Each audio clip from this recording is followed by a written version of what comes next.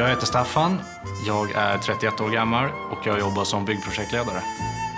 Jag är ju en eh, excentrisk människa. Jag tycker om hantverkskläder, alltså skräddarsytt. Jag tycker om att handskriva brev. Eh, jag gillar att lägga stora oförsvarbara summor pengar på små saker som bara är viktigt för just mig. Som till exempel Audrey Hepburns autograf. Och det är inte alla som kan relatera till en sån sak. Att ha en hemlig beundrare känns ju helt galet. Kul, men eh, det hade känts mer naturligt om man bara som alla andra människor bara spydde ur sig det här på fyllan. Jag har absolut ingen aning om vem det är som är här idag.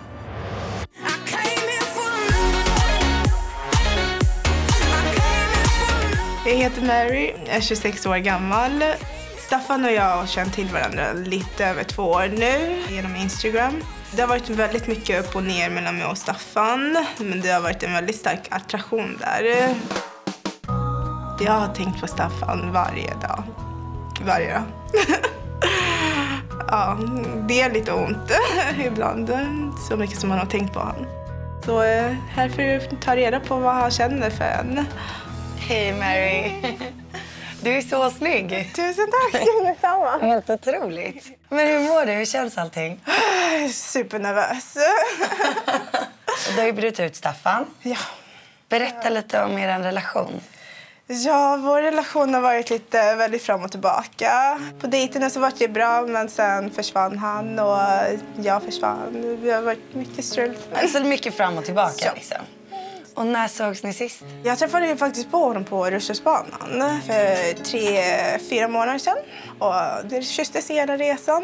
Och... På tåget? Ja, ja på. Roslagsbanan. det är där det händer alltså. Ja. vi båda var väldigt glada att se varandra. Så satt vi där på Roslagsbanan på ljusa dagen och hånglade. Jag har ju frågat honom några gånger om han vill ses och han har alltid sagt gärna men det har inte blivit av. Så ni, ni kommer till ja, Ja. och sen bara inte en dag liksom? Ja. Det gäller att han ska resa eller något med jobbet. Så det har varit så. Och vad, vad känner du när du tänker på honom? Glädje. Ja, det- Ja, mm, jag är väldigt glad. Det pirrar lite. Väldigt pirr. Jag är kär. Jag är kär. Jag har varit kär förut, men inte på ett sånt här sätt. Så jag vill utforska det här. I don't wanna let it go just like that.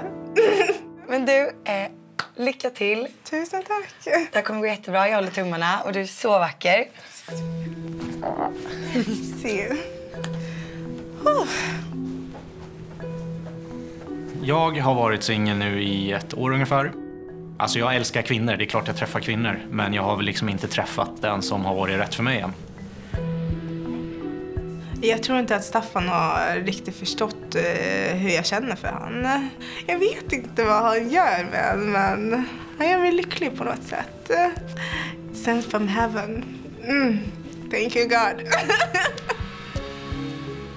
Även om hela den här situationen känns ganska konstig för mig så finns det ju ändå en, en charm i att någon väljer att göra så här och bara kasta sig ut där.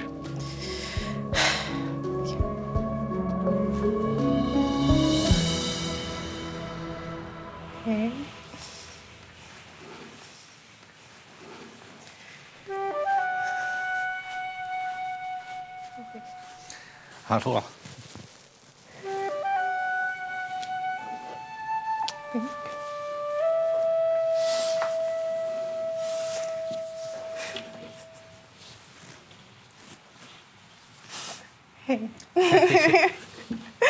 ja, det är jag som är din hemliga beundrare. Ja, det var lite otippat. Jaha, hur mår du? Mm, bra. Det är jag. Det är bra. Ja. Ja, ja. Det här, var... det här var verkligen oväntat. Jag hade ingen aning om att det var Mary. Jag och Mary träffades några gånger och sen så blev det inte mer. Det brann ut i sanden. Det gör mig svag. Så är det.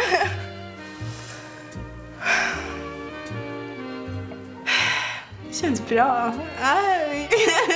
Det är väldigt bra att se Staffan igen. Liksom, han gör mig glad. Jag vet, jag vet inte varför.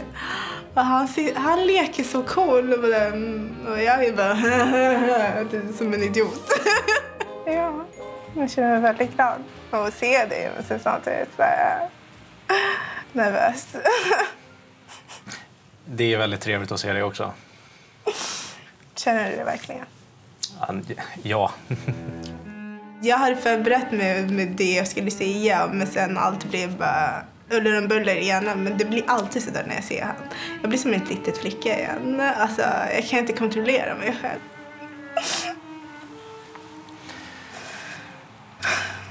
Hur kom du på tanken att göra det här? Ja, varför inte? Kanske då får jag möjligheten att få träffa dig. Ja, det... Och det gjorde du? Nej, vi skulle ses.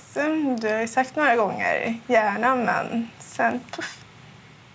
Ja, men det har ju inte haglat in några motförslag heller direkt på dagar och tider och så. Men jag har ju sagt att vi kan ses. Ja, du har sagt det, men det har aldrig blivit något av. Ja, då, då var det ju skönt att vi fick göra det nu i en sån här avslappnad atmosfär. Helt ja, naturligt. Det, det är svårt att läsa av Staffan. Han är glad, men ändå lite halv pokerface. Sned-leende. När man vill le, men ändå inte. det här är ju ganska speciellt, men alltså, det, är, det är kul att se dig. Jag har tänkt på det mycket. Och varför jag tänkt på det så här mycket, det vet jag verkligen inte. Alltså, men du har... Vad då sa du? You put me under a spell, typ. det känns som det. Oh. alltså, jag vet inte vad det är med dig, Staffan. Jag har försökt att gå, gå vidare och det har inte funkat. För att jag har dig kvar i hjärnan. Så just keep on replaying. Jag är kär. Jag är verkligen det. Så det, det, det, gör, det får mig att känna mig väldigt glad. Jag var inte beredd på att hon skulle säga att hon var kär i mig. Jag vet inte vad jag ska svara.